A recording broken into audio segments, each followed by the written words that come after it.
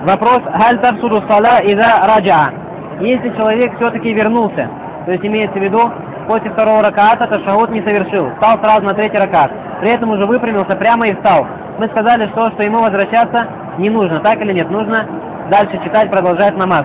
Но если он все-таки вернулся, «Халь тарсуду асфала», то его намаз становится ли недействительным или нет.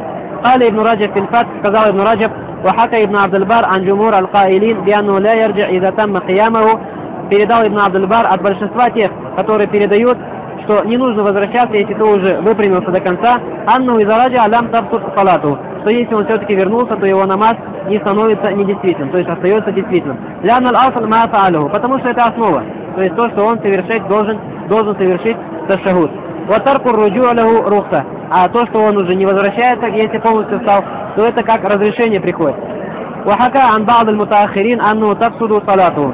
И передано от некоторых поздних ученых, что его намаз становится недействительным. Вао даиф.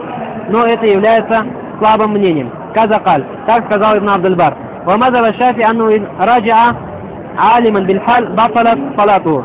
И мазаба шафи, то, что если он все-таки вернулся, зная, что возвращаться не нужно, тогда его намаз встает недействительным. Вальджумур аля карахат ар но большинство ученых считает, что это нежелательно, то есть возвращение, «Уэн лам тавсуд бихи сала».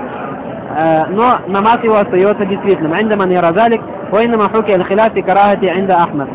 Или «Ан Ахмад». И передается, что разногласие относительно э, нежелательности этого от имама Ахмада. Значит, правильное мнение в этом вопросе, что если человек все-таки вернется на ташахуд после того, как он уже выпрямился, так или нет, на третьем ракате, то его намаз то это делать не нужно, но если он все-таки сделал, то его намаз остается действительным. Остается действительным.